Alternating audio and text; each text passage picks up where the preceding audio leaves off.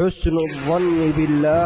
إن الداعي يوم القيامة ممن لم تستجب دعوته في الدنيا يتمنى أن الله عز وجل ما استجاب له دعوة دعوة دعوة لما يرى من ثواب الدعاء.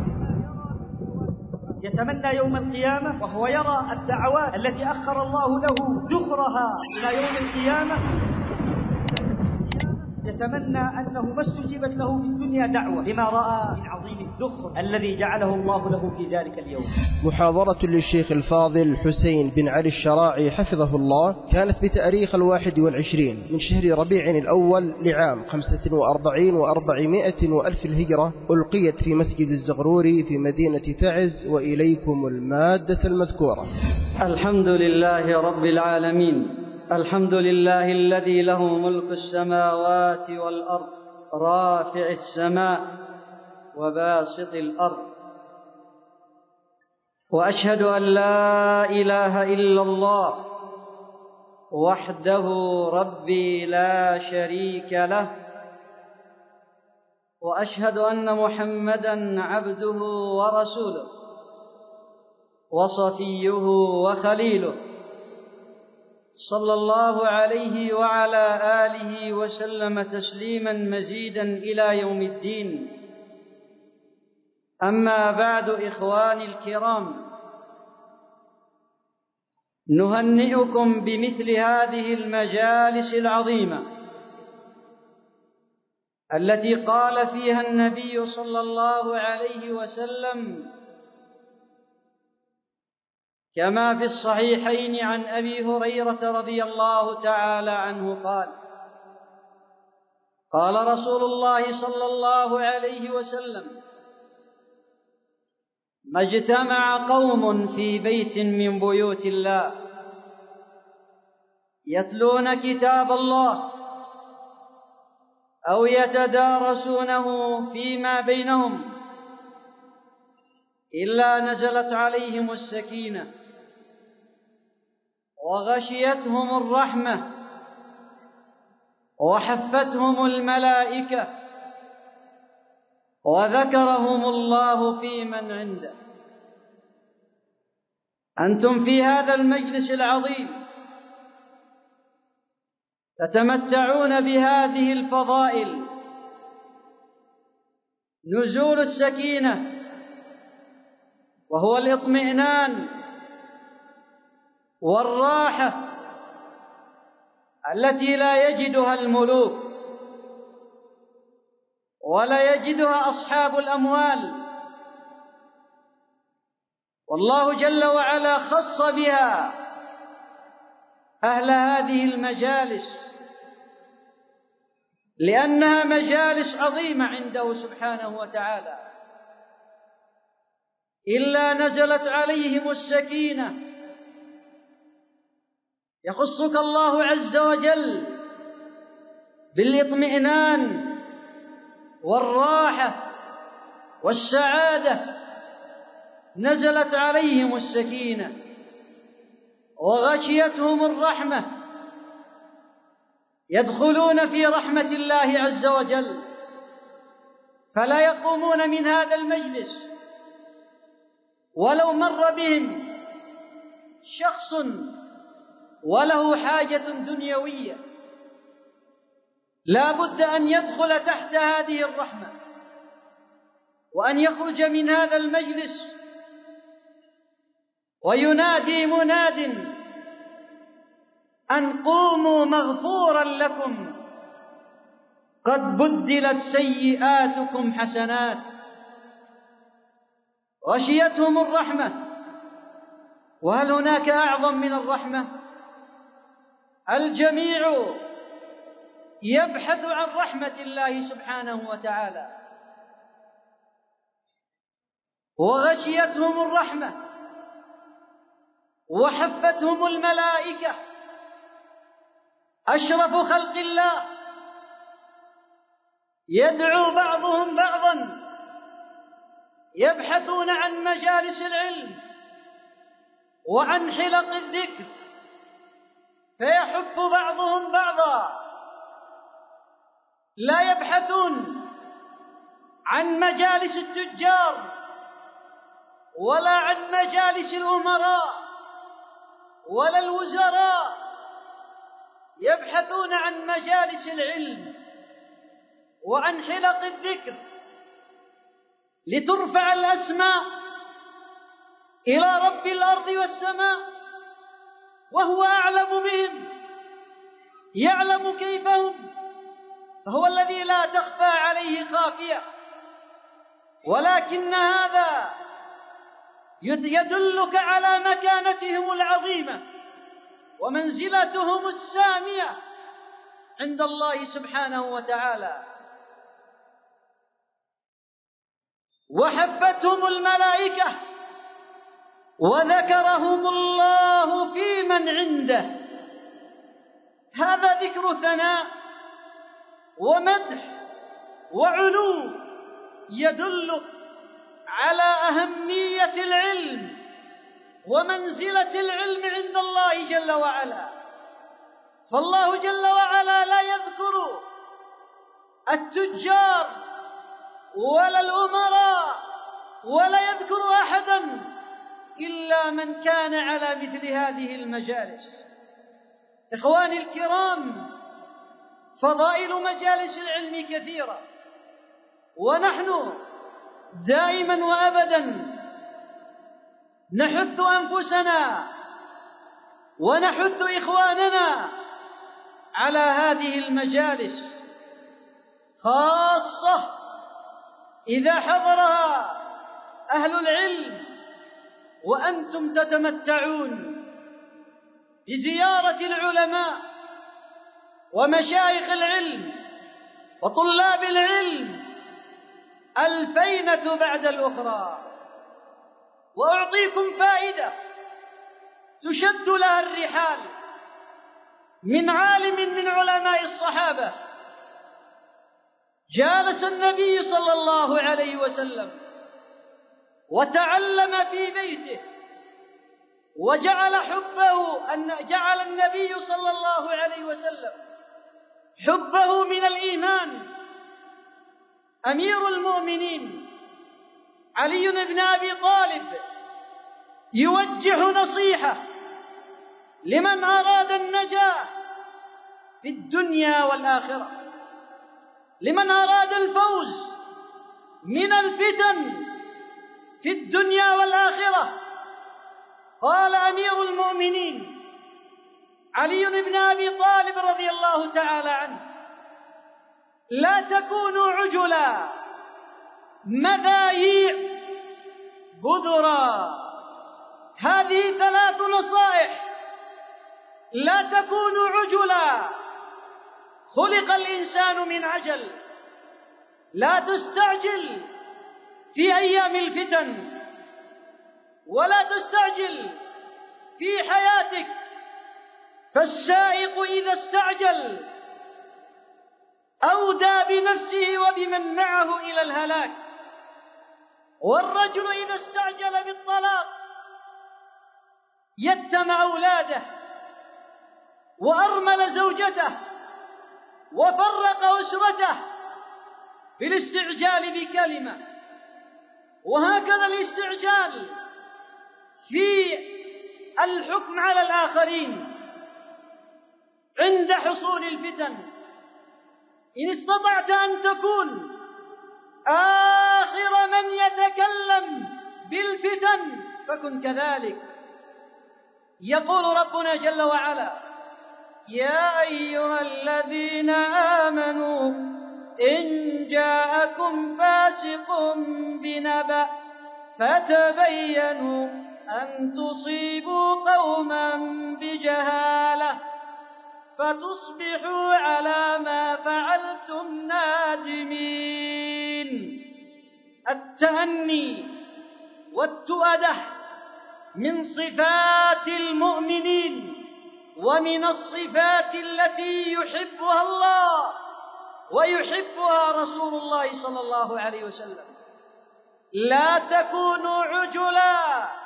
مذايع المذياع هو الذي ينشر الفتن ويروج للفتن.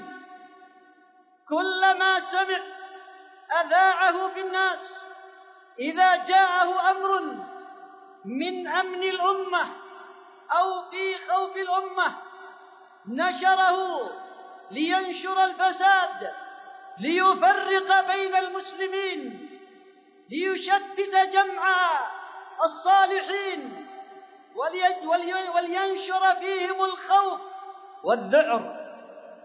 قال علي رضي الله تعالى عنه لا تكونوا عجلا مذايع بل رد الأمر إلى أهل العلم وهذا لتستفيد أن من سبقك في العلم أن تأخذ العلم منه الذي قد درس الفتن وعاشر الفتن. فعلي بن أبي طالب عاشر الفتن التي كانت في زمانه.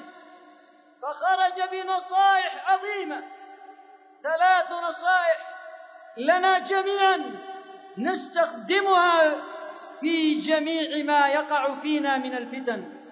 والفتن لا تنتهي أبدا. الفتن لا تنتهي أبدا.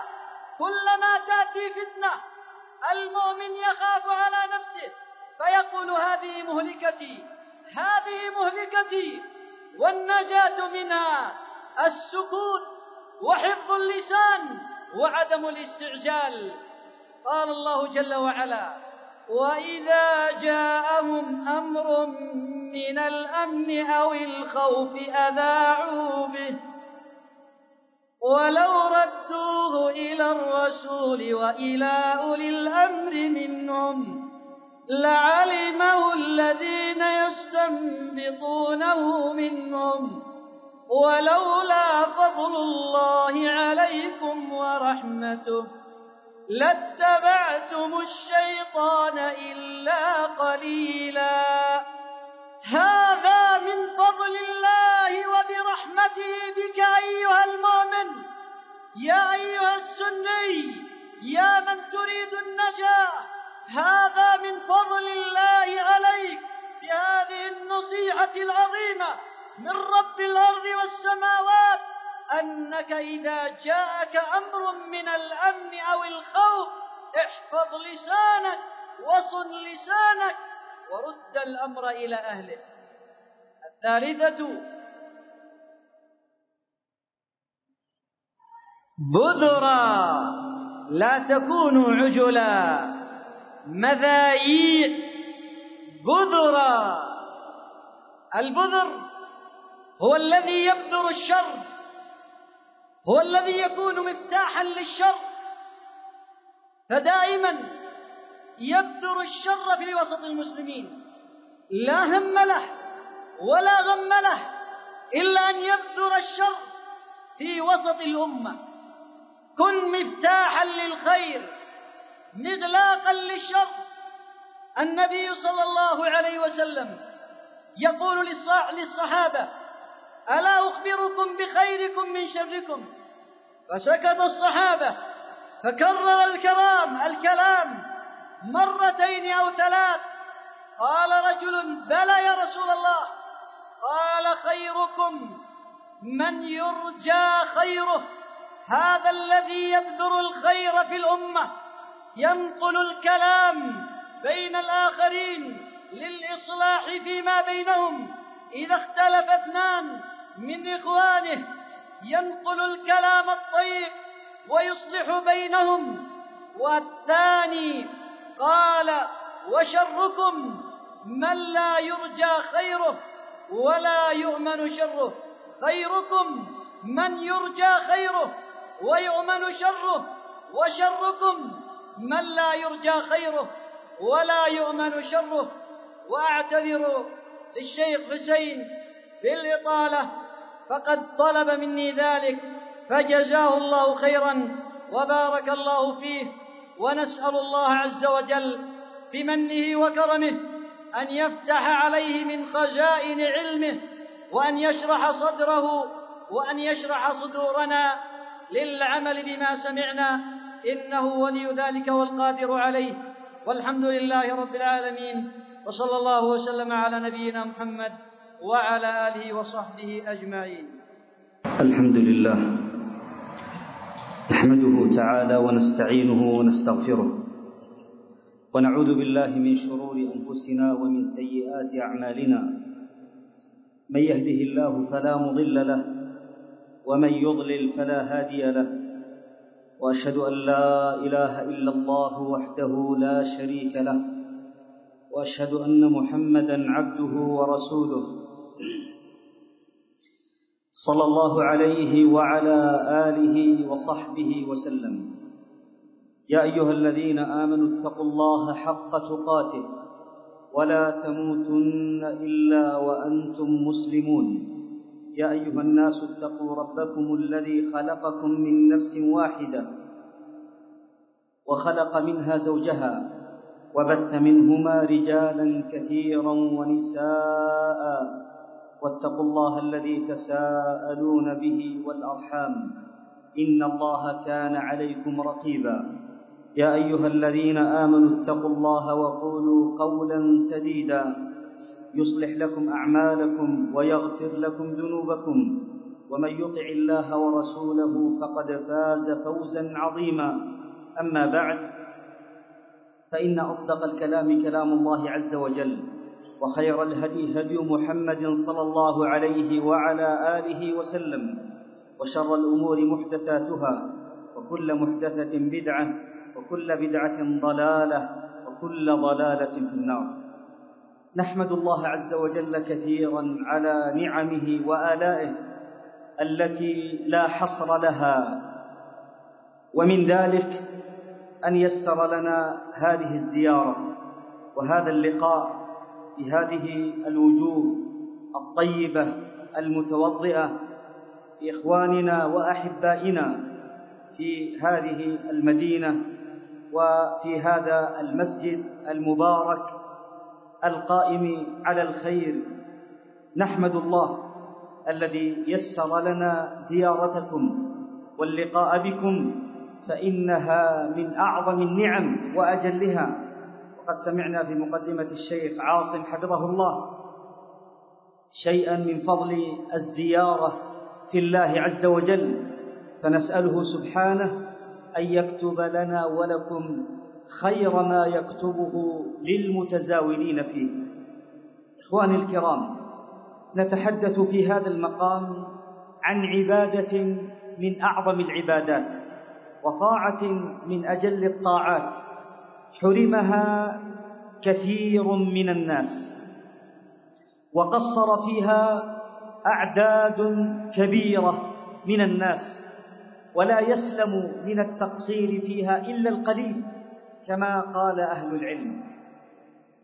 هذه العبادة هي حسن الظن بالله عز وجل. فإن حسن الظن بالله جل وعلا من أجل العبادات وأفضلها وأعظمها وعليها مدار صلاح العبد وصلاح أحواله وصلاح علاقته بربه جل وعلا. حسن الظن بالله. جاء الحث عليها في كتاب الله وفي سنة رسول الله صلى الله عليه وعلى آله وسلم كما جاء التحذير من ضدها. وهي سوء الظن وهو سوء الظن بالله. فإن الله جل وعلا حذر منه وذم أهله ووصف به أعداءه من المشركين والمنافقين وأمثالهم الذين وصفهم بقوله الظانين بالله ظن السوء عليهم دائرة السوء وغضب الله عليهم ولعنهم وأعد لهم جهنم وساءت مصيرا. أما المؤمن فشأنه أن يحسن الظن بربه جل وعلا في كل أموره وفي جميع أحواله. قلبه محسن الظن بالله جل وعلا. ولكن الشيطان يحاول إفساد قلب العبد في هذا الجانب فيحاول زرع سوء الظن في قلب العبد حتى يفسد عليه طاعته ويفسد عليه عبادته ويفسد عليه تعلقه بالله سبحانه وتعالى. ولذلك ذكر الإمام ابن القيم رحمه الله أن أكثر الناس عندهم سوء ظن بالله. قال رحمه الله وأكثر الناس يظنون بالله غير الحق ظن الجاهلية. فيما يختص بهم وفيما يفعله بغيرهم ولا يسلم من ذلك. لا يسلم من سوء الظن بالله ولا يسلم من ذلك إلا من عرف الله وعرف أسماءه وصفاته وعرف موجب حمده وحكمته. فمن عرف الله وعرف أسماءه وصفاته ومعانيها وما, وما تتضمنه أسماؤه جل وعلا وعرف أيضا موجب حمده وحكمته في خلقه.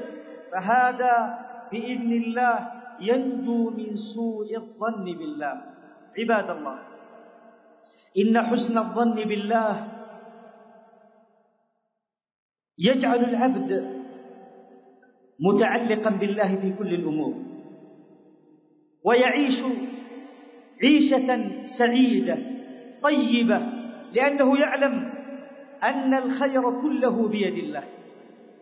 وما دام حسن الظن بالله موقنا بأن الله عز وجل عنده كل خير ومنه كل جميل فلا شك أن قلبه سيعيش في سعادة وفي راحة وفي طمأنينة. أخرج ابن أبي الدنيا رحمه الله في حسن الظن في كتابه حسن الظن عن عن عبد الله بن مسعود رضي الله تعالى عنه أنه قال والذي لا إله غيره ما أعطي عبد خيرا من حسن الظن بالله والذي لا إله غيره ما أعطي عبد حسن الظن بالله إلا رزق الخير كله. ذلك أن الخير بيده سبحانه. فابن مسعود رضي الله عنه يقسم بالله أنه ما أعطي أحد شيئا خيرا من حسن الظن بالله. وأن العبد إذا رزق هذا الأمر فقد رزق الخير كله. لأن إحسان الظن إحسان الظن بالله سبب لوصول الخير إلى العبد. فالخير كله بيده.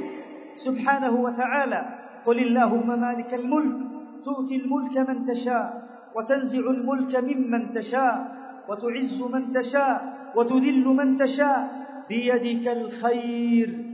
إنك على كل شيء قدير. فالخير كله بيده.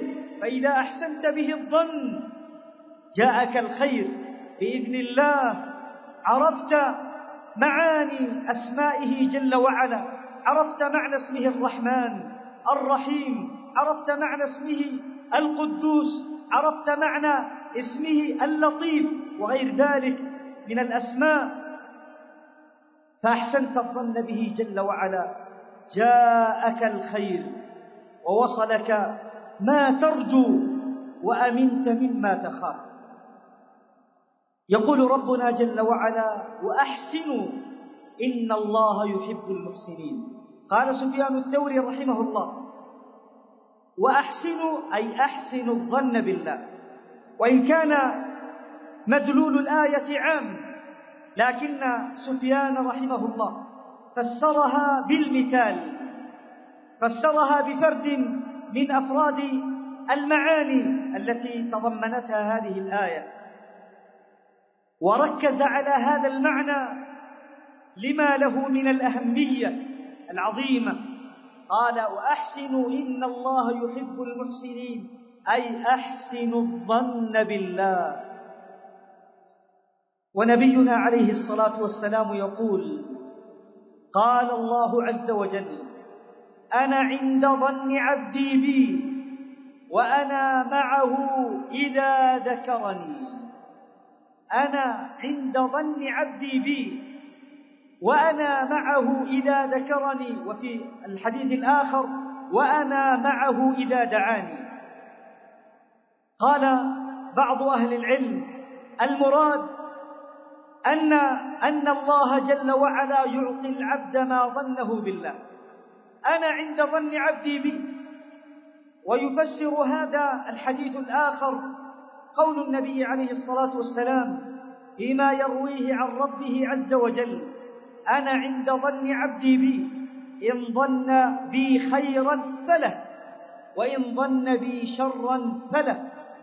إن ظن بي خيرا فله الخير وإن ظن بي شرا فله الشر. فمن أحسن ظنه بالله عز وجل ورجى منه الخير جاءه الخير. ووصله ما يرجو من الخير. ومن ظن بالله السوء أحدق به السوء ونزل به السوء كما تقدم في الآية في قول الله عز وجل الظانين بالله ظن السوء عليهم دائرة السوء يدور عليهم السوء وينزل بهم السوء لسوء ظنهم. بالله جل وعلا. والمراد بحسن الظن بالله سبحانه وتعالى أن يؤمل العبد في ربه كل خير ويؤمل منه قبول طاعته وعبادته ويؤمل منه حصول الرزق ووصوله إليه ويؤمل منه كشف الكرب ورفع الضيق ورفع البلاء الذي يحل به فإذا نزل به أمر أحدق به شر أحاط به سوء أحسن ظنه بالله. جل وعلا ورجى كشف ذلك البلاء عنه لأنه حسن لأنه حسن الظن بالله جل وعلا وسيأتيه ظنه الذي ظنه بربه جل وعلا كما سمعنا في الحديث أنا عند ظن عبدي بي وأنا معه إذا ذكرني. وفي حديث جابر عند الإمام مسلم رحمه الله أن النبي صلى الله عليه وعلى آله وسلم قال لا يموتن أحدكم إلا وهو يحسن الظن بربه. جاء عند ابن عند ابن أبي الدنيا في رواية قال فإن قوما أرداهم سوء ظنهم بالله وقرأ قول الله عز وجل وذلكم ظنكم الذي ظننتم بربكم أرداكم فأصبحتم من الخاسرين. وذلكم ظنكم الذي ظننتم بربكم أرداكم. كانوا سيئي الظن بالله كانوا سيئي الظن بالله فأرداهم سوء ظنهم بالله عز وجل في جهنم. في نار جهنم لسوء ظنهم بربهم سبحانه وتعالى. وهكذا إبراهيم عليه السلام خاطب قومه قائلا لهم أئفكا آلهة دون الله تريدون؟ فما ظنكم برب العالمين؟ أي ما ظنكم؟ كما قاله كثير من المفسرين ما ظنكم بالله؟ إذا لاقيتموه وأنتم سيئوا الظن به سيئوا الظن به. ما ظنكم أن يعمل بكم وأن يجازيكم إذا لاقيتموه وأنتم كذلك؟ ويمكن حمل حمل الآية أيضا على معنى آخر. فما ظنكم برب العالمين؟ أي أظننتم عجزة عن إيصال الخير إليكم؟ حتى عبدتم من دونه كما فسرها العلامة السعدي رحمه الله. قال فما ظنكم برب العالمين؟ أي ما ظنكم من النقص به سبحانه حتى عبدتم غيره؟ أتظنون أنه لا ينصركم؟ أتظنون أنه لا يرزقكم؟ أتظنون أنه لا يوصل إليكم الخير ولا يدفع عنكم الضر ولا يكشف عنكم البلاء ولا يصرف عنكم السوء؟ حتى صرفتم عبادتكم لغيره وعلقتم قلوبكم بغيره فما ظنكم برب العالمين. إذا أحسن العبد ظنه بالله تراه في كل ملمة وفي كل شدة وفي كل نازلة أول ما يفزع إلى ربه سبحانه وتعالى ويطرق بابه ويرجو خيره ويسأله من فضله ويستدفع به البلاء والشر. عباد الله إن حسن الظن بالله مطلوب في كل أحوال العبد وفي جميع حياته. طول حياته ينبغي أن يكون حسن الظن بربه سبحانه وتعالى. ويتأكد حسن الظن بالله جل وعلا في مواطن. فمن تلك المواطن التي يتأكد فيها حسن الظن بالله إذا عمل الإنسان الأعمال الصالحة فإنه يحسن الظن بربه أن يتقبل منه عمله بعد أن أن يجتهد في إحسان العمل وفي أداء الطاعة والعبادة على الوجه الذي أراده الله عز وجل منه. يرجو مع ذلك أن الله سبحانه وتعالى يتقبل عمله ويحسن الظن بربه أن يجزيه ويثيبه على هذه الطاعة والعبادة. وقد جاء عند البزار من حديث أبي هريرة رضي الله عنه أن النبي صلى الله عليه وسلم قال إن حسن الظن من حسن العبادة. إن حسن الظن من حسن العبادة. حسنه العلامة الألباني رحمه الله. وفسر الخطابي رحمه الله هذا الحديث بما حاصله. قال المراد أن العبد إذا أحسن العمل أحسن ظنه بالله جل وعلا أن يتقبل منه فكان حسن ظنه من كمال عبادته وتمامها. فإنه عمل العبادة كما أراد الله عز وجل منه. وأداها كما أراد الله عز وجل منه. اجتهد في إحسان العبادة وإكمالها وإتمامها على الوجه المطلوب وأحسن ظنه بالله جل وعلا أن يتقبل العمل الذي عمله وأن يثيبه على تلك الطاعة إن حسن العبادة إن حسن الظن من حسن العبادة. وفسره آخرون من أهل العلم بغير ذلك لكن هذا الذي يناسب هذا المعنى أن العبد يحسن العبادة ويحسن ظنه بالله جل وعلا أن يتقبل منه عمله. أما إذا أساء العمل إنسان يصلي ولا يحسن الصلاة. لا يطمئن في ركوع ولا في سجود ولا يتم ركنا من الأركان أو يخل ببعض الأركان التي الإخلال بها مبطل للصلاة.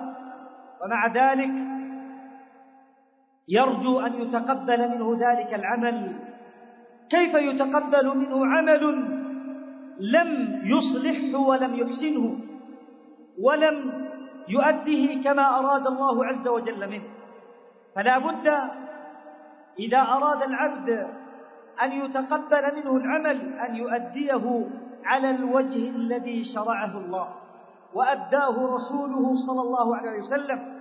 لذلك كان النبي عليه الصلاة والسلام يقول صلوا كما رأيتموني أصلي. وقال في الحج خذوا عني مناسككم.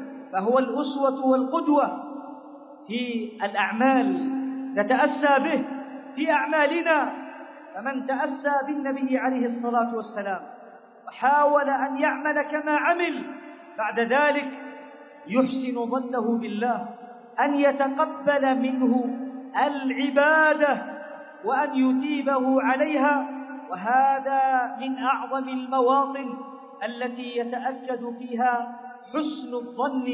بالله سبحانه وتعالى والموطن الثاني إذا عمل الإنسان بعض الذنوب والمعاصي وقع في بعض الآثام ندم على ذلك تاب إلى الله عز وجل رجع من ذنوبه فإنه يحسن الظن بربه أن يتقبل منه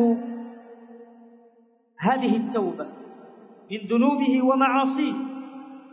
يقول ربنا جل وعلا قل يا عبادي الذين أسرفوا على أنفسهم لا تقنطوا من رحمة الله إن الله يغفر الذنوب جميعا إنه هو الغفور الرحيم. أي من تاب لا يقنط.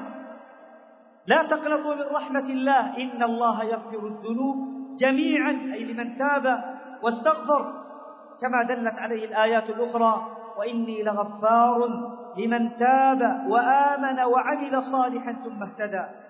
الله جل وعلا يخاطب المسرفين المكثرين في الذنوب والمعاصي أن يحسنوا ظنهم بالله وألا يقنطوا من رحمته جل وعلا. إذا أقبلوا وأنابوا ورجعوا إلى الله لا تقنطوا من رحمة الله. إن الله يغفر الذنوب جميعا. إنه هو الغفور الرحيم. ويقول سبحانه وهو الذي يقبل التوبة عن عباده ويعفو عن السيئات ويعلم ما تفعلون. الله جل وعلا يقبل من عباده توبتهم إذا صدقوا فيها وحققوا شروطها. قبل الله عز وجل منهم مهما كانت ذنوبهم ومهما بلغت معاصيهم وفي حديث أنس رضي الله عنه عن النبي صلى الله عليه وسلم فيما يرويه عن ربه عز وجل أنه قال يا ابن آدم لو بلغت ذنوبك عنان السماء ثم لقيتني لا تشرك بي شيئا ثم استغفرتني غفرت لك على ما كان منك ولا أبالي. لو بلغت ذنوبك عنان السماء ثم استغفرتني غفرت لك ولا أبالي. فالله جل وعلا يتوب على من تاب ويقبل على من أقبل عليه ورجع وأناب. فتب إلى الله من ذنوبك ومعاصيك وأحسن الظن به جل وعلا ولا تقنط من رحمته. أحسن الظن به وهو جل وعلا لا يرد تائبا ولا يخيب آملا. والموطن الثالث مما يتأكد فيه حسن الظن بالله سبحانه وتعالى الدعاء. عند الدعاء إذا دعا العبد ربه جل وعلا في أي أمر من أموره ما لم يدع بإثم أو قطيعة رحم في أي أمر من أمور الدنيا أو الآخرة يؤمل بالله ويرجوه ويحسن ظنه به أن يستجيب دعاءه. وأن يحقق رجاءه. وبالحديث الذي تقدم ذكره يقول النبي عليه الصلاة والسلام فيما يرويه عن ربه عز وجل أنه قال أنا عند ظن عبدي بي وأنا معه إذا دعاني. وأنا معه إذا دعاني إذا دعا العبد ربه جل وعلا وأحسن الظن به سبحانه أنه يقبل دعاءه ويستجيب ويستجيب له. الله جل وعلا عند ظن عبده به. وإني لأدعو الله حتى كأنني أرى بجميل الظن ما الله صانع هكذا أثر البيت عن بعض المتقدمين. وإني لأدعو الله حتى كأنني أرى بجميل الظن ما الله صانع يقول أدعو الله وأنا حسن الظن به حتى من حسن ظنه ظني به جل وعلا كأني أرى تحقق الإجابة ووصول المطلوب أمام ناظري. وإني لأدعو الله حتى كأنني أرى بجميل الظن ما الله صانع. وفي حديث أنس رضي الله عنه عند الترمذي وغيره أن النبي صلى الله عليه وسلم قال يا ابن آدم إنك ما دعوتني ورجوتني. ورجوتني. وهذا الرجاء هو حسن الظن بالله. هو حسن الظن بالله ذاته كما قال الإمام ابن القيم رحمه الله. يرجو ما عند الله من الخير. محسنا الظن به. إنك ما دعوتني ورجوتني. فقرن بين الدعاء والرجاء. إنك ما دعوتني ورجوتني غفرت لك. فالعبد إذا دعا ربه في أي أمر من الأمور فليحسن الظن به ولا يدعوه وهو يائس من الاستجابة فإن هذا سوء ظن. وفي حديث أبي هريرة رضي الله عنه عند الترمذي أن النبي صلى الله عليه وسلم قال ادعوا الله وأنتم موقنون بالإجابة إن الله لا يستجيب من قلب غافل الله ادعوا الله وأنتم موقنون بالإجابة. هذا اليقين هو حسن الظن برب العالمين. فإذا دعوت الله يا عبد الله في أي أمر لا تدعوه. وأنت متردد أو يائس من الاستجابة فإن هذا قد يكون من موانع قبول الدعاء. لكن ادعو الله وأنت على يقين وتعلم أن الله جل وعلا بيده خزائن السماوات والأرض وله الملك كله وخزائنه ملأى لا تغيضها نفقة. ولو وقف العباد جميعهم في صعيد واحد أولهم وآخرهم وإنسهم وجنهم وسأل كل واحد مسألته مهما كانت ومهما بلغت وأعطى كل إنسان مسألته. ما نقص ذلك مما عنده سبحانه وتعالى؟ شيء. فأنت تدعو الغني الكريم الوهاب فلماذا تتردد في حصول مطلوبك؟ حقق أسباب الإجابة وأمل بالله خيرا وأحسن به ظنا واعلم أن دعاءك سيحقق. قد يتأخر تتأخر إجابة الدعاء لكن الدعاء إن كان لا إثم فيه وتحققت الشروط وانتفت الموانع فهو مستجاب لا شك. فإن النبي عليه الصلاة والسلام يقول ما من مسلم يدعو بدعوة ليس فيها إثم ولا قطيعة رحم إلا استجاب الله له. إلا استجاب الله له. ما من مسلم نكرة في سياق الشرط تفيد العموم. أي مسلم يدعو بدعوة ليس فيها إثم ولا قطيعة رحم إلا استجاب الله له. فإما أن يعجل له ما سأل وإما أن يدفع عنه من السوء مثلها وإما أن يدخر له ذلك إلى يوم القيامة. ستنال إحدى ثلاث إما أن يعطيك الله سؤلك وطلبك. وإما أن يدفع عنك من السوء بمقدار ما سألت أو أكثر.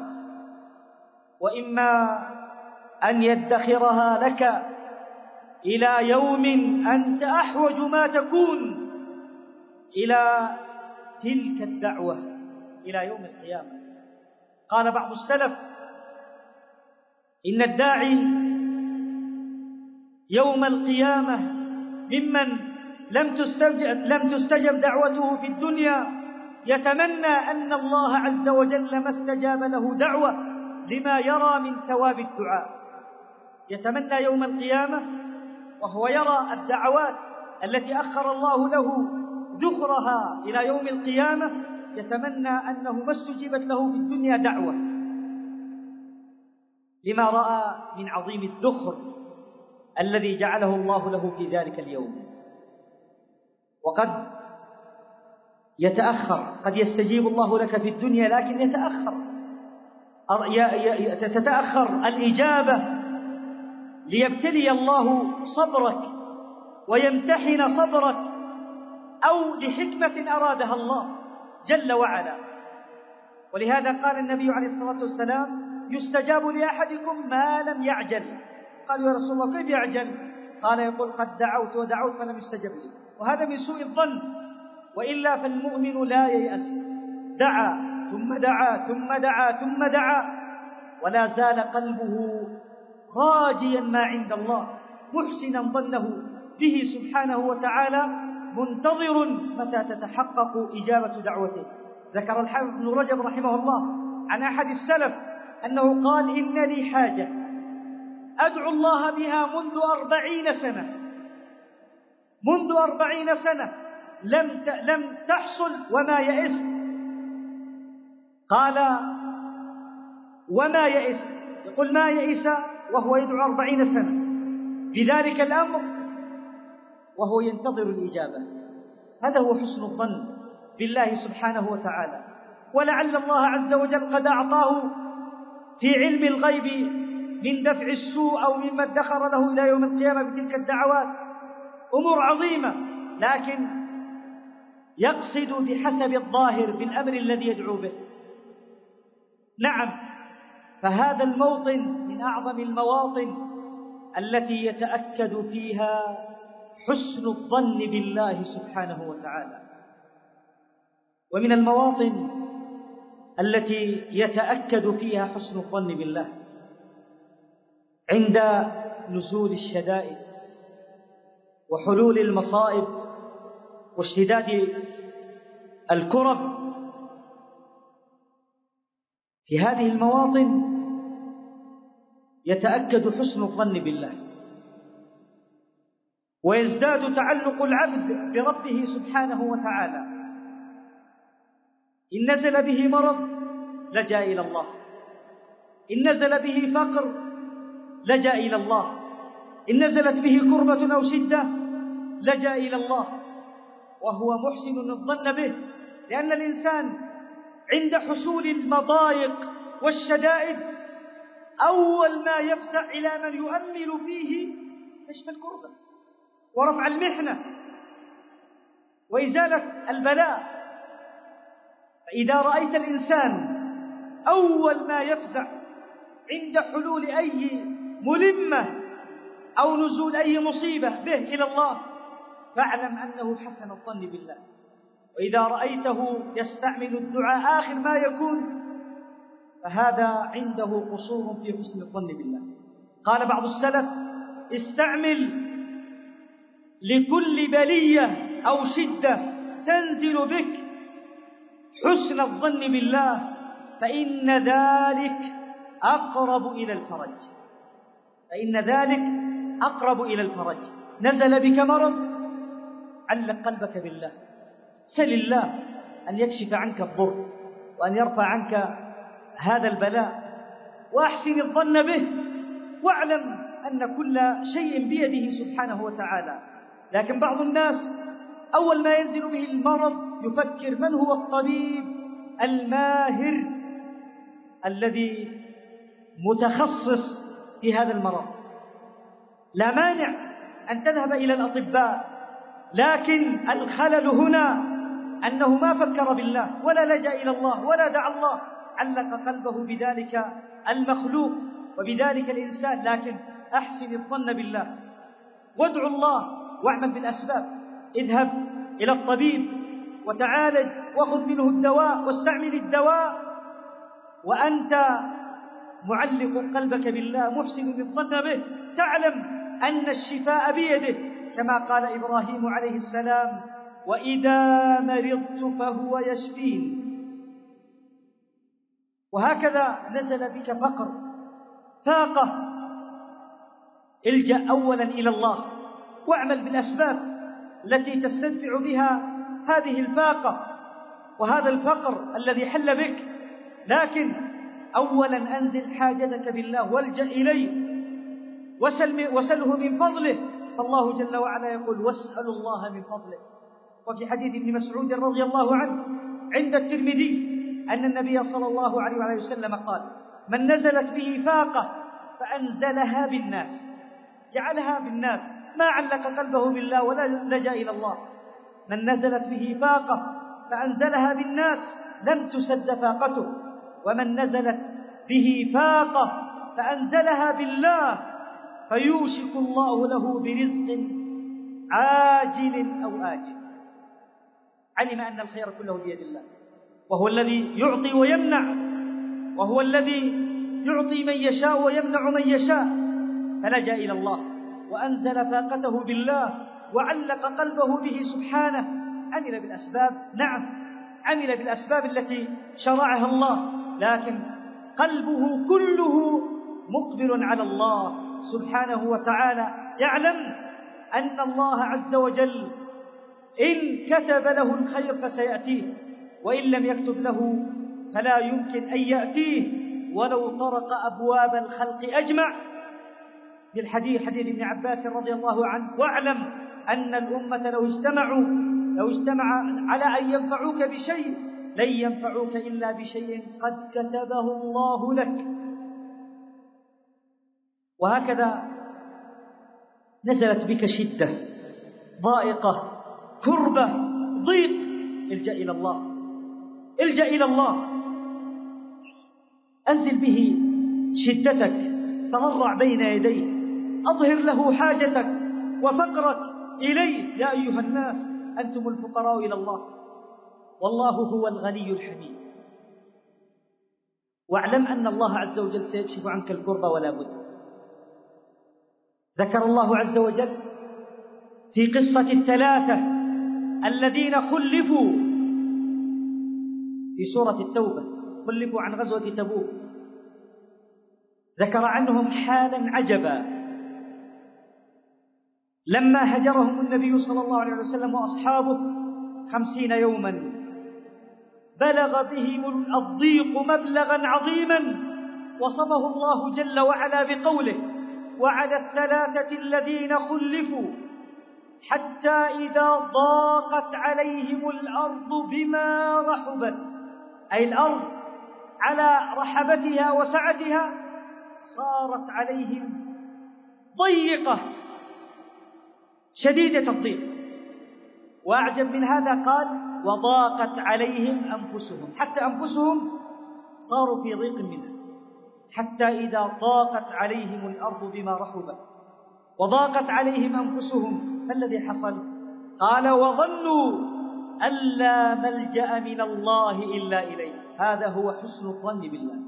أيقنوا أن لا ملجأ من الله إلا إليه. لا مفرج لهذه الضائقة ولا رافع لهذا البلاء إلا الله. سبحانه وتعالى. وظنوا أن لا ملجأ من الله إلا إليه. وهم كانوا محسنين الظن بالله. وإنما المراد زادت زاد هذا الأمر وزاد هذا التعلق بالله أكثر وأكثر. فعندها جاء الفرج وظنوا أن لا ملجأ من الله إلا إليه ثم تاب عليهم ليتوبوا. إن الله هو التواب الرحيم. فما أعظم حسن الظن بالله؟ هؤلاء الصحابة الكرام هؤلاء الثلاثة وصل بهم الحال إلى ما سمعتم. قوي حسن ظنهم بالله جل وعلا فجاءهم الفرج فكلما عظم حسن الظن بالله عند العبد قرب الفرج وارتفعت الشدة. غلبك دين تكاثرت عليك الديون والهموم والغموم. أحسن ظنك بالله. وأنزل دينك به سبحانه وتعالى. واعلم أنها ستفرج النبي عليه الصلاة والسلام رأى أبا أمامة رضي الله عنه يكثر الجلوس في المسجد ورأى عليه أثر الهم. فقال سأله النبي عليه الصلاة والسلام ما لك يا أبا أمامة؟ تكثر الجلوس في المسجد.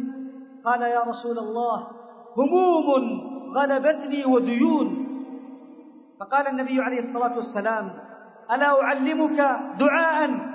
إذا قلته قضى الله عنك دينك وأذهب عنك همك وغمك. قال قلت بلى يا رسول الله. قال قل. جاء في بعض الروايات إذا أصبحت وإذا أمسيت.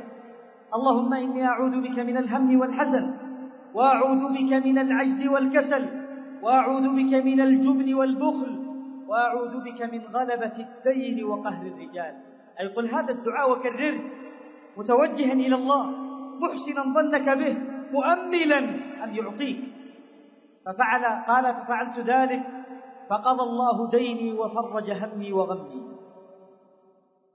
ويقول عبد الله بن الزبير رضي الله تعالى عنه يذكر وصية أبيه له لما نزل به الموت. فقال افعل كذا وكذا وكذا واقض الديون. قال فإذا غلبك شيء من الدين أو عجزت عنه فقل يا مو فاستعن عليه عليه بمولاي. فاستعن عليه بمولاي. قال فظللت أفكر من مولاه؟ أقول في نفسي من مولاه؟ قال ثم قلت يا أبي من مولاك؟ قال الله عز وجل. قال فلما مات وقام بقضاء ديونه. قال فوالله ما وقعت في شيء من دين أو عجزت عنه. إلا قلت يا مولى الزبير اقض عن الزبير. قال فيقضى فيقضى الدين. أي يتيسر فيقضي الدين. كان رضي الله عنه حسن الظن بربه. انظر كيف قال لولده فإذا غلبك منه شيء أو عجزت عنه فاستعن عليه بمولاي استعن عليه بمولاي وهو على يقين أن الله عز وجل لن يخيبه لن يخيب ظنه ولن يخيب سعيه. ففعل ابنه ذلك فأدى الله عز وجل عنه ويسر قضاء دينه وفضل من أمواله شيء كثير. قسم بين ورثته رضي الله تعالى عنه وأرضاه. وهكذا من المواطن التي يتأكد فيها حسن الظن بالله ونختم بهذا فقد طال بنا المقام من المواطن التي يتأكد فيها حسن الظن بالله يتأكد بشدة عند نزول الموت. فهذا الموطن يودع فيه العبد هذه الحياة وهو مقبل على حياة أخرى ما عرفها ولا ألفها. مقبل على جزاء أعماله التي عملها في هذه الحياة. فيحتاج أن يحسن ظنه بالله سبحانه وتعالى ويؤمل فيه كل خير ويؤمل مغفرة, مغفرة ذنوبه. في حديث جابر الذي سبق عند الإمام مسلم أن النبي عليه الصلاة والسلام قال أو قال سمعت النبي عليه الصلاة والسلام قبل موته بكلام. يقول لا يموتن أحدكم إلا وهو يحسن الظن بربه. لا يموتن أحدكم إلا وهو يحسن الظن بربه.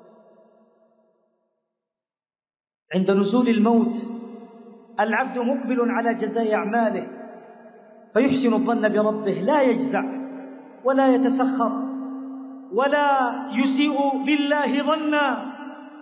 ما بقي معه مجال للرجوع إلى الحياة ما بقي إلا أن يحسن الظن بالله.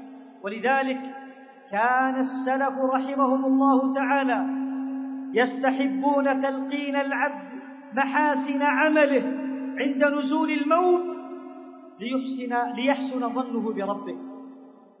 وفي أثر ابن عباس رضي الله عنه قال إذا رأيتم الرجل قد نزل به الموت فحسنوا عنده الظن بربه سبحانه وتعالى. وإذا رأيتموه في حال الحياة فخوفوه بالله وحذروه عذابه. أو كما قال رضي الله تعالى عنه. وجاء عند الإمام أحمد وغيره أن واثلة بن الأسقع رضي الله عنه سمع أو سأل عن أبي الأسود الجرشي يزيد بن الأسود رحمه الله أنه في السياق أي في الموت فأمر قائدا يقوده إليه ليزوره. وكان واثلة أعمى. فلما دخل قال قربوني منه. فقربوه حتى وضعوا يده في يده. وهو يعاني السكرات. فقال خصلة أسألك عنها. واثلة يقول لأبي الأسود الجرشي رضي الله, رضي الله عنه ورحمه الله. خصلة أسألك عنها. كيف ظنك بربك؟ فقال ظني به حسن وفي رواية أنه أشار برأسه أي ظني بالله حسن. فكبر وأثلة رضي الله عنه وقال الله أكبر. إني سمعت النبي صلى الله عليه وسلم يقول قال الله عز وجل أنا عند ظن عبدي بي فليظن بعبدي ما شاء. أنا عند ظن عبدي بي فليظن بعبدي ما شاء. فكان في هذا الموطن يتأكد حسن الظن بالله. وفي حديث أنس أيضا حسنه العلامة الألباني رحمه الله أن النبي صلى الله عليه وسلم دخل على شاب وهو في السكرات فقال له كيف تجدك؟ قال أرجو الله وأخاف ذنوبي. فقال النبي صلى الله عليه وسلم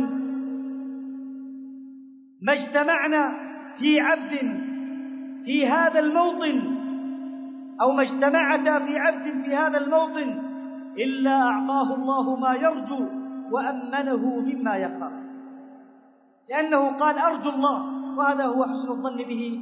سبحانه وتعالى وأخاف ذنوبي. فالنبي عليه الصلاة والسلام يقول ما اجتمعتا أي هاتان الخصلتان في عبد في هذا الموطن في سكرات الموت إلا أعطاه الله ما يرجو وأمنه مما يخاف. فيستحب للعبد ويتأكد عليه حسن الظن بالله عز وجل في هذا الموطن. وعلى من حضر أيضا عند الميت أن يلقنه محاسن عمله وأن يذكره بما يحسن ظنه بربه جل وعلا حتى يحسن ظنه به سبحانه فيرجى له خاتمة الخير بإذن الله. أحسن الظن برب لم يزل دائم الإحسان برا لم يمل. من غدت نعماؤه في ذا الورى؟ جملا ترفل في إثر جمل. وسع العالم فضلا وجدى واسع الإحسان برا وسع, وسع العالم برا مشتمل وإذا لم تحسن الظن به فبمن تحسن؟ إن خطب نزل وإذا لم ترجه من ترتجي. وإذا لم تسألنه من تسل. فلتطب نفسا عليه وله المثل الأعلى ولسنا والأجل. فحسن الظن بالله عبادة جليلة عظيمة. ينبغي للمسلم أن يتعود عليها وأن يجاهد نفسه على القيام بها وعلى تربية نفسه عليها. وذلك كما مر معنا في كلام الإمام ابن القيم بمعرفة أسماء الله وصفاته ومعانيها. فإن هذا مما يزرع في قلب العبد حسن الظن بالله وينميه في قلبه ويزيده فيه من عرف معاني أسماء الله وصفاته وهذا باب عظيم من أبواب العلم بل أجل أبواب العلم أن يعرف العبد ربه سبحانه وتعالى إذا عرف معاني أسمائه جل وعلا كما ينبغي أحسن الظن به وعظمه ورجاه وخافه وعظمه ووصل به الحال إلى كل خير بإذن الله جل وعلا. نسأل الله سبحانه وتعالى بأسمائه الحسنى وصفاته العلى أن يوفقنا لما يحب ويرضى وأن يأخذ بنواصينا للبر والتقوى وأن يعيننا على ذكره وشكره وحسن عبادته. أسأل الله جل وعلا أن يغفر لنا ولوالدينا ووالديهم وجميع المسلمين. ربنا آتنا في الدنيا حسنة وفي الآخرة حسنة وقنا عذاب النار. والحمد لله رب العالمين. صلى الله وسلم وبارك على نبينا محمد وعلى آله وصحبه أجمعين ومعذرة على الإطالة